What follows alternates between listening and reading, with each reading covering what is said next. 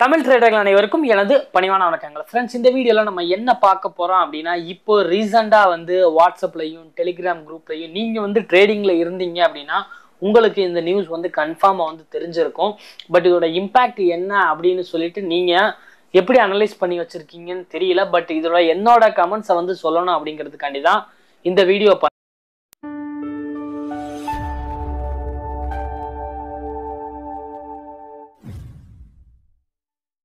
வீடியோவை பார்த்துட்டு நீங்களும் ஷேர் மார்க்கெட்டில் காசு சம்பாதிக்கணும் அப்படின்னு சொல்லிட்டு ஆசைப்படுறீங்க அப்படின்னா கீழே டிஸ்கிரிப்ஷனில் நான் டிமேட் அக்கௌண்ட் ஓப்பன் இந்த லிங்க்கை நீங்கள் கிளிக் பண்ணிக்கோங்க.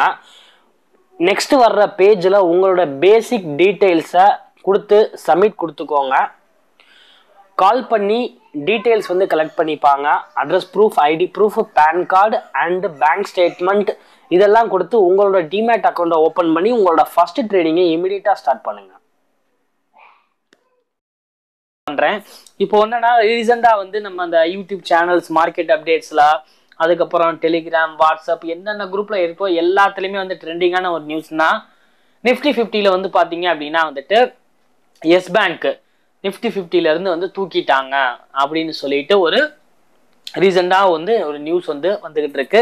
இது வந்து மார்ச் இருபத்தி ஏழுல இருபத்தேழு இருபத்தாறாம் தேதி வரைக்கும் தான் இருக்கும் மார்ச் இருபத்தி ஏழுக்கு அப்புறம் வந்துட்டு எஸ் பேங்க் வந்து நிஃப்டி லிஸ்ட்ல இருக்காது. அதுக்கு பதிலாக வந்து ஸ்ரீ சிம்ட்டை வந்து பார்த்தீங்கன்னா வந்துட்டு ஆட் பண்ணுறாங்க அப்படின்னு சொல்லிட்டு ஒரு நியூஸ். இது அஃபிஷியலான தகவல் தான். இது மட்டும் இல்லாமல் வந்து பார்த்தீங்க அப்படின்னா இது போக வந்துட்டு நிஃப்டியில் வந்து பார்த்தீங்கன்னா Adani transmission IDBI bank Info Edge limited Larsen and turbo இன்ஃபோட்டிக் Torrent pharma இதை இதை ஃபுல்லாக வந்து நிஃப்டியில் ஃபிஃப்டியில் வந்து புதுசாக வந்து ஆட் பண்ணுறாங்க பட் வந்து பார்த்தீங்க அப்படின்னா வந்துட்டு இதுக்கு பதிலாக வந்து Vodafone Idea Ashok Leyland Indiabulls finance LNT இதை ஃபுல்லாக வந்துட்டு நிஃப்டி ஃபிஃப்டிலேருந்து ரிமூவ் பண்ணுறாங்க அப்படின்னு சொல்லிட்டு. இந்த ஓடஃபோன் ஐடியா அசோக் லீலாண்ட் கூட ஓகே இப்போ பட் என்னென்னா எஸ் பேங்க்கை தான் வந்து மேக்ஸிமம் வந்து ஃபோக்கஸ் பண்ணுறாங்க ஏன்னா வந்து எஸ் பேங்க்கை பொறுத்தளவு வந்து பார்த்தோம் அப்படின்னா வந்துட்டு ஒரு நல்ல வந்து ஒரு ஒலட்டிலிட்டி அதிகமாக இன்ட்ராடே நீங்கள் பண்ணுறீங்க அப்படின்னா வந்துட்டு மேக்ஸிமம் இன்ட்ராடே ட்ரேடர்ஸ் வந்து ப்ரிஃபர் பண்ணுறது பார்த்தீங்கன்னா வந்துட்டு எஸ் பேங்க்கு ஏன்னா அதோட ரேட்டும் வந்து பார்த்தீங்க அப்படின்னா வந்து ஒரு நல்ல ஒரு குவான்டிட்டி நம்ம வாங்குற மாதிரி வந்து இருக்கும். அதே நேரத்தில் வந்து பார்த்தீங்க அப்படின்னா வந்துட்டு அதோட ஒலட்டிலிட்டியும் வந்து பார்த்தீங்கன்னா வந்து அதிகமாக இருக்கும். ஒரே நாளில் வந்து பார்த்தீங்கன்னா ஒரு பர்சன்டேஜ் ரெண்டு பர்சன்டேஜ் அந்த மாதிரி வந்து ட்ரேடிங் நடக்கிற ஒரு ஸ்டாக்கு அப்படிங்கிறனால வந்து எஸ் பேங்க் வந்து இன்ட்ராடே ட்ரேடர்ஸ் வந்து அதிகமாக வந்து ஃபோக்கஸ் பண்ணுவாங்க. அதே நேரத்தில் இன்வெஸ்டர்ஸ் மத்தியிலையுமே வந்து பார்த்தீங்க அப்படின்னா வந்துட்டு ஒரு நல்ல ஒரு ஃபோக்கஸில் இருந்த ஒரு ஸ்டாக்ஸ் தான். ரீசன்ட் டேஸாக வந்து பார்த்தீங்க அப்படின்னா வந்துட்டு எஸ் பேங்கோட பெர்ஃபார்மன்ஸ் வந்து ஒன்றும் அந்த அளவுக்கு வந்து சரியில்லாமல் இருந்துச்சு. கிட்டத்தட்ட வந்து பார்த்தீங்க அப்படின்னா வந்துட்டு ரெண்டாயிரத்தி பத்தொம்போதில் நூற்றி அறுபத்தெட்டு ரூபா இருந்த இரநூத்தி முப்பத்தி ஏழு ரூபாய் ரெண்டாயிரத்தி பத்தொம்போது ஃபினான்ஷியல் இயர் ஸ்டார்ட் பண்ணும்போது வந்து பார்த்தீங்கன்னா இருந்த ஸ்டாக்கு அதோட கண்டினியூவேஷனாக இந்த ஃபினான்ஷியல் இயர் இந்த டூ தௌசண்ட் டுவெண்ட்டி நம்மளுக்கு வந்து மார்ச் முடிகிற டயத்தில் வந்து பார்த்தீங்க அப்படின்னா இந்த two two thousand nineteen twenty இந்த ஃபினான்ஷியல் இயர் வந்து எஸ் பேங்க்குக்கு வந்து இன்னும் நல்ல விதமாக வந்து அமையலை. இரநூத்தி முப்பத்தேழு ரூபாய் இருந்த ஸ்டாக்ஸ் வந்து பார்த்தீங்க அப்படின்னா வந்துட்டு அப்படியே இரநூறுவா கம்மியாகி இப்போ முப்பத்தஞ்சு ரூபா அந்த ரேஞ்சில் வந்து நிற்கிது ஸோ இதை இப்போ நிஃப்டி ஃபிஃப்டிலேருந்து வேறு ரிமூவ் பண்ணிட்டாங்க. இப்போ இதை என்ன பண்ணலாம்? இன்வெஸ்டர்ஸ்லாம் வந்து இதில் ஸ்டாக் வாங்கி போட்டவங்களாம் வந்து என்ன பண்ணுறது அப்படின்னு சொல்லிட்டு பிச்சுக்கிட்டு இருக்காங்க. ஒன்றும் பயப்படாதீங்க ஃப்ரெண்ட்ஸ் நிஃப்டி ஃபிஃப்டிலேருந்து நம்ம இது என்னோட வியூஸ் தான் என்னோட சஜஷன் தான்.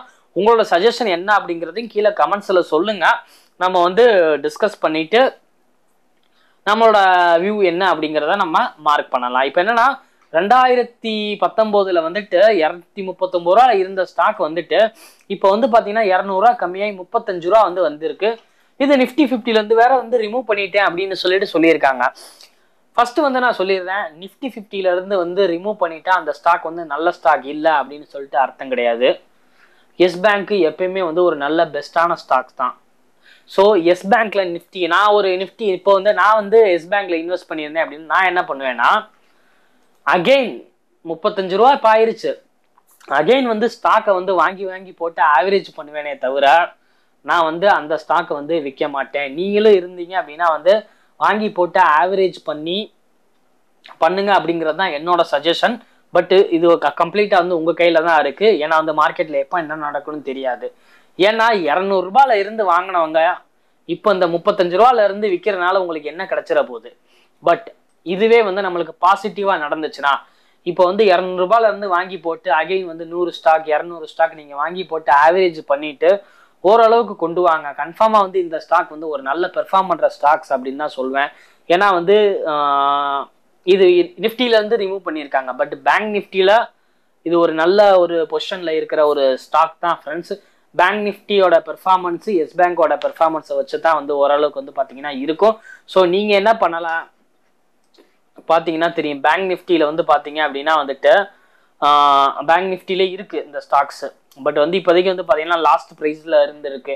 Axis Bank Bank of Baroda Federal Federal Bank HDFC ICICI IDFC so but வந்து இதுவும் ஒரு பேங்க் செக்டார்னால வந்து எஸ் பேங்க்கும் இருக்குது பட் வந்து நல்லா மைண்டில் வச்சுக்கோங்க. எஸ் பேங்க் வந்து பேங்கிங் செக்டார் இந்த ஸ்டாக்ல வந்து ஆர்பிஐக்கு கட்டுப்பாட்டில் இருக்கிற ஒரு பேங்க் இந்த பேங்க் வந்து நம்ம வந்து இந்த ஏர்செல் மாதிரி க்ளோஸ் பண்ணிட்டு திவாலாகி திவாலாகி போகிற சுச்சுவேஷனில் இருக்கெல்லாம் கிடையாது. இந்த பேங்க்கில் நிறையா சேவிங்ஸ் அக்கௌண்ட் இருக்குது இந்த பேங்க்கில் நிறையா வந்து எஃப்டி ஆர்டி எல்லாம் ஓடிட்டுருக்கு இந்த பேங்க் லிஸ்டடான ஒரு பேங்க்கு ஸோ அதனால் வந்து நிறையா வந்து ஷேர்ஸ் நிறையா வந்து இது போயிட்டுருக்கு அந்த அந்த அளவுக்கு வந்து பார்த்தீங்கன்னா நஷ்டமாயிருச்சு அப்படின்னு சொல்லிட்டு ஒரே நைட்டில் க்ளோஸ் பண்ணிட்டு எல்லாம் போகிற மாதிரி கிடையாது. இப்போது கரண்ட்டாக வந்து முப்பத்தஞ்சு ரூபாயில் இருக்குது இது மேக்ஸிமம் போச்சு அப்படின்னா வந்து பார்த்தீங்க அப்படின்னா வந்து முப்பது ரூபாய் இருபத்தஞ்சு ரூபா வர போகிறதுக்கான வாய்ப்புகள் தான் இருக்குது பட் நீங்கள் மா- எவ்வளவுதான் இறங்குனாலும் அது வந்து அகைன் வாங்கி போட்டு வாங்கி போட்டு ஆவரேஜ் பண்ணிக்கிட்டே இருங்க. கன்ஃபார்மாக வந்து நீங்கள் அமௌண்ட்டை வந்து அட்லீஸ்ட் நீங்கள் போட்ட அமௌண்ட்டையாச்சும் வந்து இதில் இருந்து எடுத்துடலாம். நீங்கள் இந்த மாதிரி பண்ணீங்க அப்படின்னா. ரெண்டாவது ஸ்ரீ சிமெண்ட்டை பற்றி சொல்லணும் அப்படின்னா ஸோ ஸ்ரீ சிமெண்ட் வந்து எனக்கு தெரிஞ்சு வந்து இது இதுக்கு முன்னாடி வந்து இப்படி ஒரு ஸ்டாக் வந்து நான் கேள்விப்பட்டதே கிடையாது. நீங்களும் கேள்விப்பட்டிருக்கீங்களா அப்படின்னு சொல்லிட்டு எனக்கு தெரியல. இருந்தீங்க அப்படின்னு சொல்லிட்டு சொன்னீங்கன்னா அப்படின்னா கீழே கமெண்ட்ஸில் சொல்லுங்க. இல்லை ஸ்ரீ சிமெண்ட்டை பற்றி எனக்கு தெரியவே தெரியாதுன்னா அதையும் நீங்கள் சொல்லுங்க.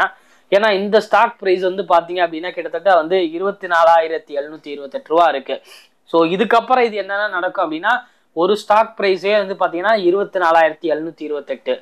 ஸோ நிஃப்டியில் வந்து ஒரு வெயிட்டேஜ் வந்து கொடுத்துருக்காங்க அப்படின்னா வந்துட்டு அந்த ஸ்டாக் ப்ரைஸை கம்மி பண்ணுறதுக்காண்டி வந்து என்னென்ன பண்ணணுமோ அதை ஃபுல்லாக வந்து இந்த மேனேஜ்மெண்ட் வந்து இதுக்கப்புறம் வந்து பண்ணுறதுக்கான வாய்ப்புகள் இருக்குது ஏன்னா இருபத்தி நாலாயிரம் அப்படின்னு சொல்லும்போது ஒரு ஷேர் வாங்கினாலே உங்கள் கையில் இருபத்தையாயிரம் வேணும்.